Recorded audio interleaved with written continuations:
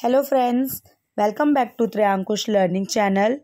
Today we are going to learn about stomach. So let's start 10 line essay on stomach.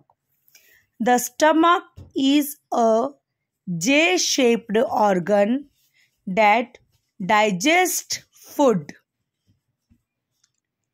It is an internal organ. It produces enzymes and acids that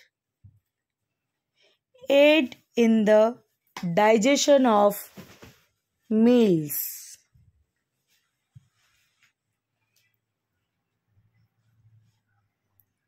Our stomach is part of the gastrointestinal short form GI tract.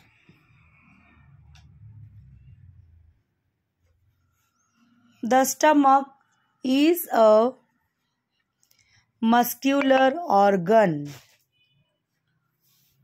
located on the left side of the upper abdomen.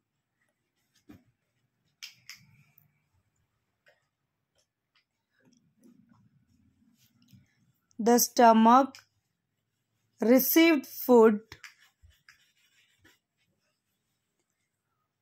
from the esophagus. E S O P H A G U S. Esophagus. The esophagus delivers food to the stomach through a valve called the esophageal sphincter S P H I N C T E R.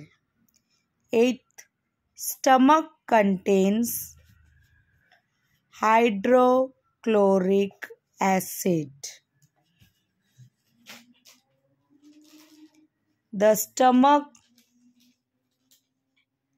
main job are to store and break down food.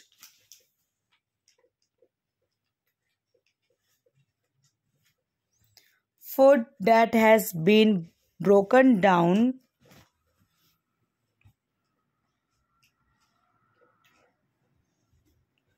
in the stomach is called